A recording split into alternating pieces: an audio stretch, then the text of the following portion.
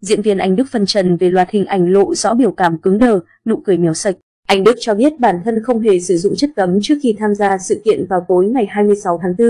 Vào tối ngày 26 tháng 4, diễn viên Anh Đức đã có mặt tại một sự kiện khai trương phòng trà tại thành phố Hồ Chí Minh.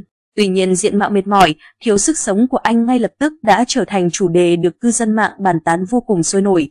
Mới đây vào chiều tối ngày 27 tháng 4, khi trả lời phỏng vấn với Vietnamnet, anh Đức không giấu khỏi tâm trạng buồn bã và bức xúc khi những hình ảnh của bản thân tại sự kiện bị bịa đặt, tạo ra nhiều thông tin thất thiệt liên quan đến cuộc sống đời tư.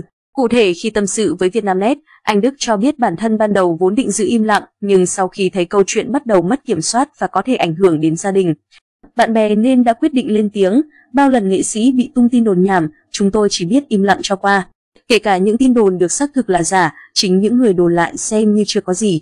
Vậy ai sẽ trả lại danh dự cho chúng tôi? Về việc tham sự kiện tối ngày 26 tháng 4, anh Đức chia sẻ đã được mời đến dự lễ khai trương phòng trà của một chuyên gia trang điểm đã quen biết từ trước đó. Thực tế nam diễn viên không hề có ý định chụp ảnh check-in tại khu vực bên ngoài sự kiện vì đã đến muộn và được chủ nhân mời vào bên trong.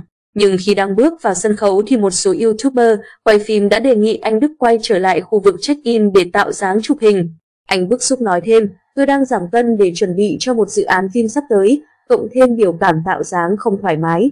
Không ngờ vài phút sau hình ảnh của tôi lại được tung lên mạng với những cái tít, nội dung câu view nhảm nhí. Bên cạnh đó, biểu cảm cứng đờ, thiếu tự nhiên của anh Đức trong loạt ảnh trên đã dấy lên tin đồn nam diễn viên có thể sử dụng chất cấm. Đứng trước nghi vấn này, anh thẳng thắn cho biết, tôi khẳng định không có chuyện dùng chất cấm trước khi dự sự kiện như lời một số người tung tin hiện nay.